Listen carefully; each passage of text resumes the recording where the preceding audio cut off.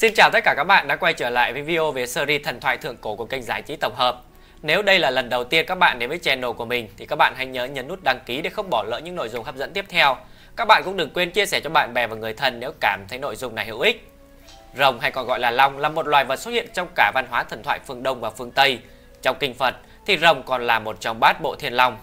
Ở cả phương Đông và phương Tây thì, thì hình ảnh loài rồng đều biểu thị cho một loài linh vật huyền thoại có sức mạnh phi thường đồng thời nó còn biểu tượng cho sức mạnh và quyền uy tối thượng. Hoa hạ 5.000 năm mênh mông thái cổ đã tồn tại vô số quỷ thần trong thần thoại truyền thuyết. Rồng là biểu tượng của dân tộc Trung Hoa cũng là đồ đằng thần thú mà dân tộc Hoa hạ mấy ngàn năm qua đều một mực sùng bái, là đại biểu cho sự tồn tại của vĩ lực từ thiền địa chí cao. Ở trong nhận thức của rất nhiều người, rồng vẫn luôn chỉ có một hình tượng là giác tự lộc, đầu tự ngưu, nhãn tự hà, chủy tự lư, phúc tự xà, lần tự ngư, túc tự vượng, tù tự nhân, nhĩ tự tượng.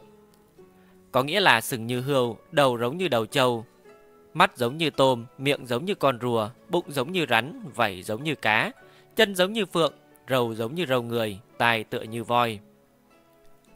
Mà trên thực tế từ trong truyền thuyết thuần thoại lưu truyền, số lượng đông đảo thần long, trong đó có những long tộc chịu đựng thiên địa khảo nghiệm mà trở thành địa long, bàn long, có xích long trưởng khống thiên hạ, tình thông hòa thuật Có thành long đứng đầu thứ thánh thú, Lại còn có cả thiên long chân chính, Tọa hạ của hoàng đế, Đó chính là ứng long. Còn dưới đây chúng ta sẽ tìm hiểu một chút về Trúc Long. Trúc Long từ trong Sơn Hải Kinh ghi chép lại, Chính là thần mình cường đại nhất, Thường trụ ở trường Vĩ Sơn. Theo truyền thuyết mô tả, Trúc Long cũng xưng là Trúc Cửu Âm, Toàn thần xích hồng, Thân dài ngàn dặm, bàn cứ bất động, Tựa như cự sơn với chiều dài đến ngàn dặm, nói ra chính là uống một hơi sẽ cạn sạch hoàng hà, ngẩng đầu một cái sẽ là chạm đến cửu thiên. Cũng là may mắn, Trúc Long thích bàn cư bất động, nếu không lúc nó ngủ say, chỉ cần chuyển mình một cái thì cả nửa vùng hoa hạ liền sẽ biến mất. Trúc Long một mực được cổ nhân tôn làm sáng thế thần. Đến đây chắc hẳn sẽ có người nghi vấn, sáng thế thần không phải chính là bàn cổ. Ở đây chúng ta sẽ lý giải theo một chiều hướng khác. Sơn Hải Kinh từng có đoạn viết Bàn cổ sợ tối bổ ra hỗn độn.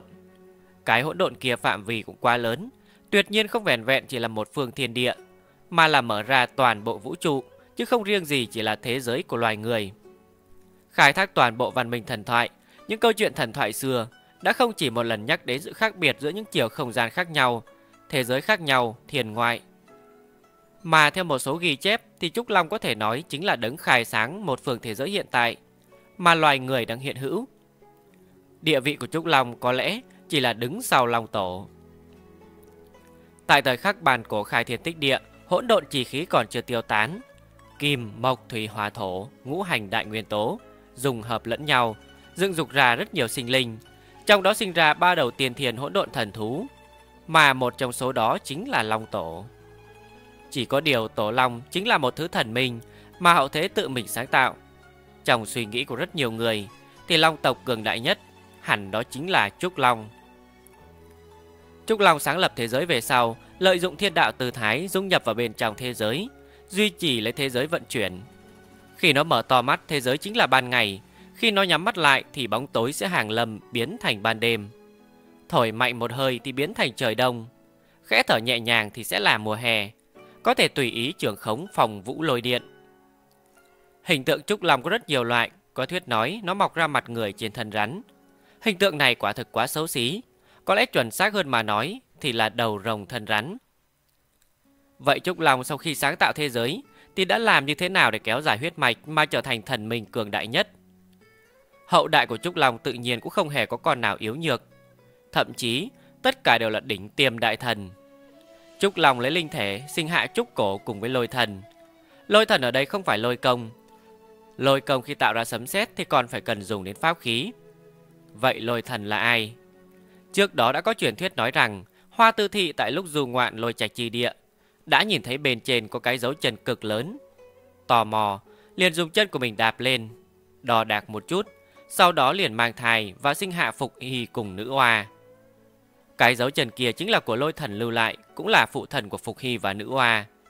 Mà dòng dõi của Phục Hy về sau đều được tôn là Hoa Hạ Trung Tổ Viêm, tức thần nông và Hoàng đế Hiền Viên, Viêm Hoàng Nhị Đế huyết mạch truyền thừa cho đến nay, diễn biến vô số bộ lạc và những tộc người khác nhau. Được tôn là đệ nhất thái cổ thần minh, vậy Trúc Long sức chiến đấu mạnh đến bao nhiêu? Đến nay cũng không ai có khả năng nhận biết, bởi vì người đã viết ra Sơn Hải Kinh, dù có động não như thế nào đi nữa, thì cũng chỉ là sinh linh của một cái thế giới. Mà Trúc Long chính là sáng tạo thế giới, hóa thành thiên đạo đại thần. Bất kỳ một loại sức mạnh nào đứng ở trước mặt nó, đều chỉ cần thở nhẹ một hơi, liền có thể tiêu tán.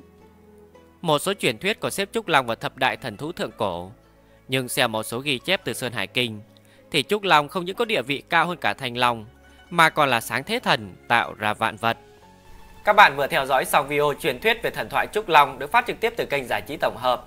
Nếu các bạn yêu thích những câu chuyện về thần thoại hay lịch sử Trung Hoa hoặc những câu chuyện liên quan đến Tây Du Ký Thủy Hử thì các bạn hãy nhớ truy cập vào kênh của mình để theo dõi những nội dung đã được đăng tải trước đó.